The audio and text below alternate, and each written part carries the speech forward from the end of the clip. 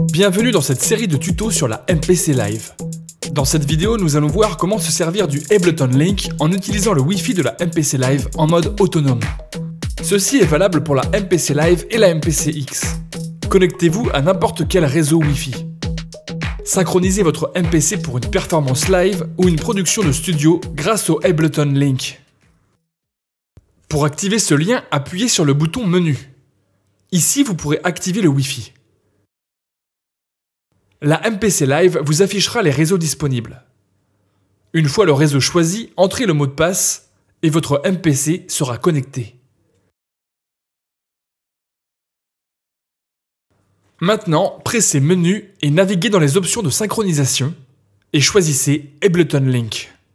Votre MPC est maintenant relié aux autres appareils.